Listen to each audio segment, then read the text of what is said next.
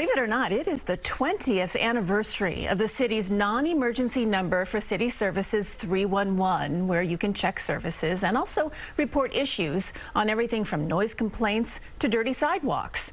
To mark the anniversary, the mayor shared some of the more unusual calls operators received. How about this one?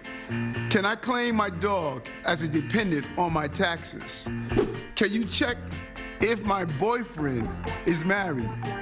I like to report my neighbor for waving to everyone on the block. That's a real New Yorker. If you have something to report, you can access 311 by dialing it on the phone, on social media, or at nyc.gov slash 311. Who knows, maybe you'll make the highlight reel next year. Maybe he'll do that every year, right? A regular stand-up it. routine. Mm-hmm. It's worth it. Great it's material. fun to hear. Absolutely.